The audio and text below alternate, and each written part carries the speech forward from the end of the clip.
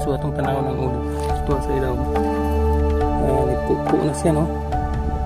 So posible uh, namatay kini.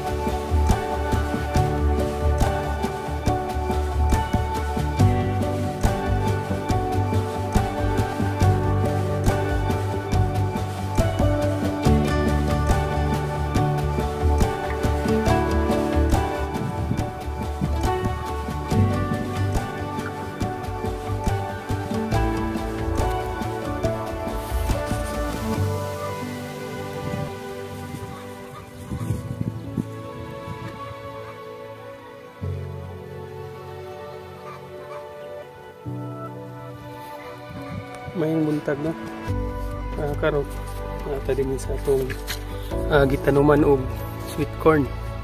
Karon ika 19 ka adlaw na gikan sa atong pagtanom. Uh, og nag-spray ta. Og insecticide atong gisabayan og uh, mga pulyar o kining bibitol. O kana uh, 400% so kining chemical nga inyong nakita na ipangan nga para ulod. Pero usa lang na siya ka uh, klase sa chemical nga atong spray. Ang sulod ni ining maong mga nga sudlanan uh, upat ka klase nga chemical. So kung interesado mo sa kung sa nga klase nga chemical ang atong gigamit para maibaw mo uh, i-comment lang ang inyong mga pangutana. So, last load na nako ni karong adlaw ah. Uh, man na. So, last tank na nato ni. Sa pag sa pag mix nato ni ining maong mga atong gigamit kining bibitol magbutang ta og 10 ml matag isa ka sprayer og 10 ml usab ang anaa So sa atong chemical nga pang insecti insecticide, ah, pang insekto, gamit ta og 40 40 ml sa matag sprayer. So sa pagtimpla, magbutang usa ta og tubig nga taman dinhi dol sa katunga bago nato ibutang kini atong mga uh, ipanggamit. Tapos butangan na tubig para mapuno para dili siya ma masakto gid siya nga pagka mix sa, sa tangke. So unya, pakita na ko sa inyo ha, ang resulta. Atong sutaon unya og nga matay ba ang mga ulod nga atong giisprehan. Nanay atong sulod oh.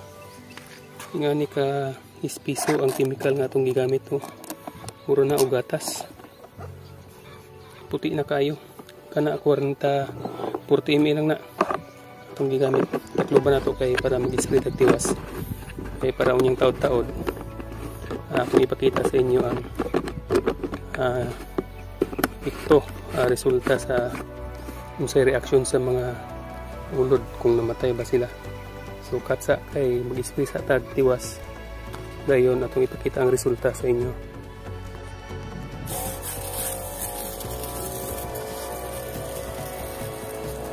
Uh, kung ini kita mag-spray og insecticide biyog-biyugan na nga to kay kupilit naman ang chemical sa dahon. So kung makakaon ang mga insekto sa dahon patay na siya. Kaya itong igamit na chemical na isagol nga systemic base. So musulod siya hintod sa padong sa pinakaugat pinakapunuan sa atong tanom nga mais. Kana para dipinsa uh, di kita balik-balik sa pag-spray. Ini mo re-entry lang ta kung wanon ka ni karong adlaw o sa sunod mga adlaw. Atong sutaon mga pila ka adlaw ug na ug na na po'y mga uh, trace uh, kinananan sa mga insekto sama ini. Kana inyong nakita nagputi-puti ng mga dahon. Kana kinanana siya sa ulod. Kining niya. So kung makita kita sama ini bumbahan na to og dagan-dagan. Hmm, nga na. E para sigurado gyud uh, igo sila so unyang taod-taod uh, ipakita na po inyo ang resulta. Kung inyong nakita usab sa inyong mga screen karon medyo sagbot ang atong tamnanan og gitamnan og mais no? So ay mong kabalaka kay naghilo na na. Uh, baguhay lang kita nag-spray og uh, Riker isa bulan na to og atrasin so kan sa atong pag-spray karon ika pat adlaw pa lang. So posible uh, dayeng na ni nga mga kwanti og ninyo nakita nagputi. Nagputi oh. Kana usa na sa ka epekto sa breaker kanang uban oh mga agi na na. So medyo mitalab ang atong gigamit na chemical pangsagbot so sa karon uh, nag-spray ta og pang insekto ang insecticide kay aduna na yung mga kinanaan sa insekto nga nga wala na. Gisi-gisi na ang dahon. So kung ingan eh bumbahan na to sa udlot. Labi natin yun kay naa siya sa sulod oh oh sige. So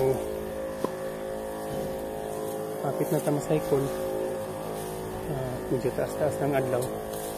Nakasugod usab kita alas 8 na pasado. So kini nga tong area di ay nga gitamnan medyo hektarya uh, nakatanom kita og 2 ka kilo nga similya sa sweet corn. So medyo di kayo tantong daghan ang miturok uh, unta uh, makasurvive ning tanan na na karon na inyo makita inyo makita.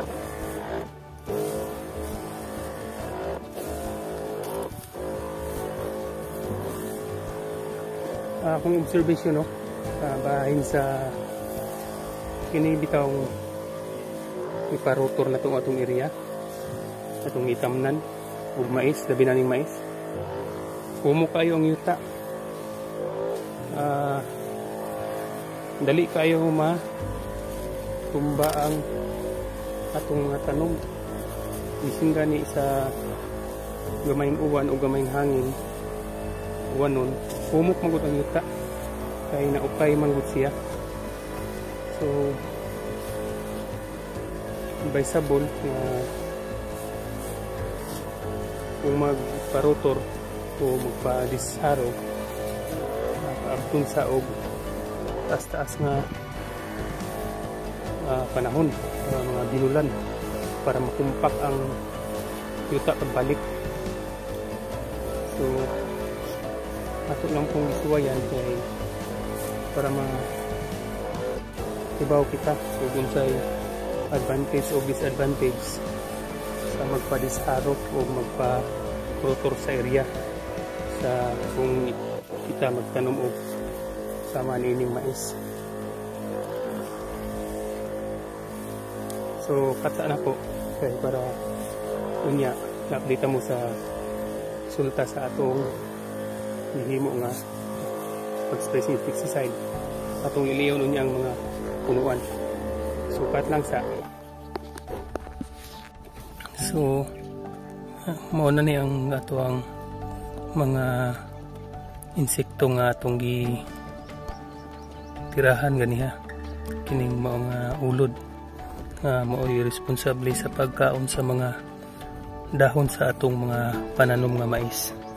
So atong tanawon kung kumusta ang iyang kondisyon. Human nga uh, nakatimahok ini sa atong gigamit nga chemicals. So itong tanawon kung buhay pa ba kining maong ulod atong kuhiton sa stick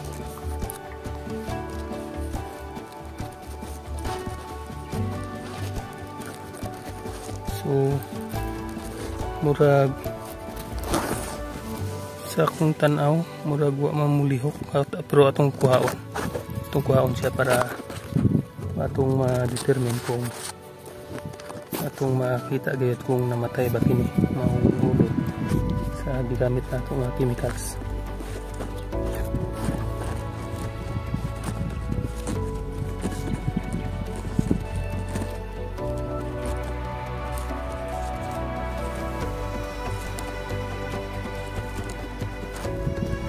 wa kayo siya mulihok na. So itong tanawon kung namatay ba gito ang hambong silang so mo na yung kan ano kinanaan niya. So mo na ang uh, tsura sa atong tanom nga mais. Human nga giatake sa maong giatake sa maong mga ulod. So atong tanawon ng ulod ito sa ilaw.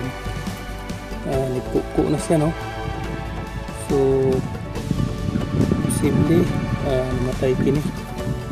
Uh, ano yung timanong sa chemical nga atong gigamit kaniha sa pag-spray? So patay ni patay. So atong tanawon kuhito na to kung mulihok. Uy medyo tibo pa ko jutay oh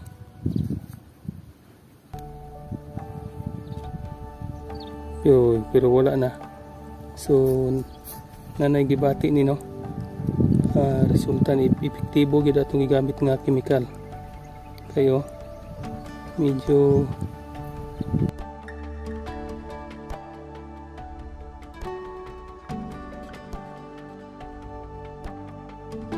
so murag nagasalimuang na ang, ang ulod.